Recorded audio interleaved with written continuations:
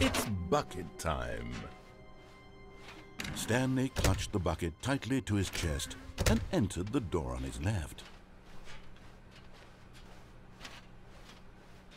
Still no one was here. Stanley needed the bucket's warmth and comfort now more than ever.